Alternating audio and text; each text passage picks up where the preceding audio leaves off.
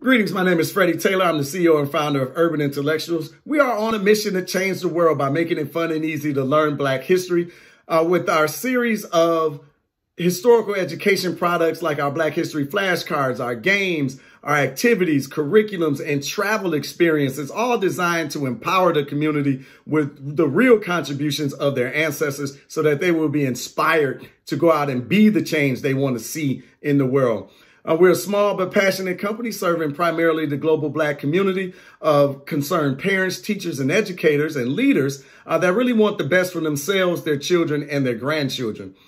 Uh, why I started this business is really what makes it unique. Uh, you don't find many companies that are centered on black history, uh, but the passion really comes from my father. See, he was born in 1929. He's still alive today. He's 92 years young, uh, but he's really the spark and he's really passionate about black history. And he really instilled that in me. He's very proud of the work that we're doing here at Urban Intellectuals. And I'm proud to be carrying on his legacy. Uh, but in addition to that, I have two young men that we've raised, my wife and I. Uh, but being an involved parent, going to the PTA, spending over 10 plus years on that board, being in the classroom, volunteering day to day, helping them at the dinner table, uh, doing their homework.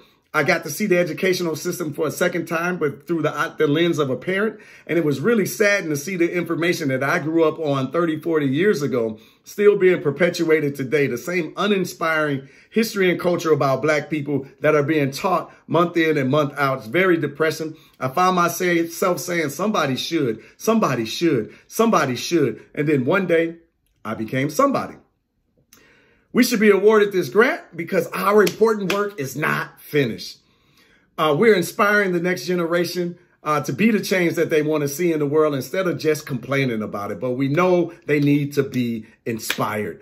To do so, uh, they need positive, enlightening understanding of their history and so, so it can feed their self-confidence, so it can take the roof off of possibilities uh, and to, so that they can share their gifts with the world and change it.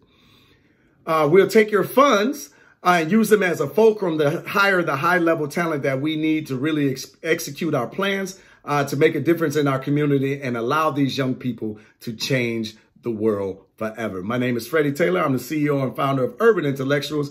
We make it fun and easy to learn Black history. Thank you for listening.